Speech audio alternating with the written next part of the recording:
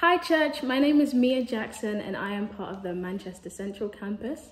We are continuing the Own It series this week with the new topic of Own Your Thinking.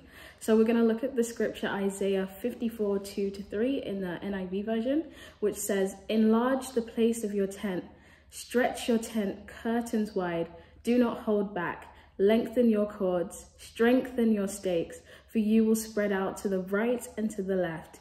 Your descendants will dispossess nations and settle in their desolate cities.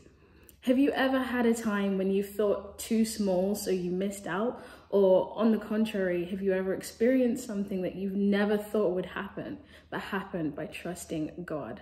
We often see ourselves with certain limitations of what we are and what we have with our natural eyes, referring to our character, education levels, job security, and so on.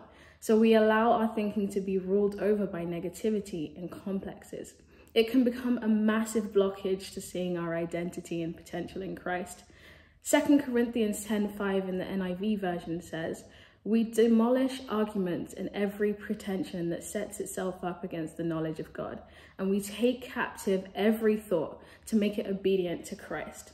God is gearing us up by reminding us today with Isaiah 54 2 to 3 so let's get ready in our thinking as God's ways and thoughts are higher than ours.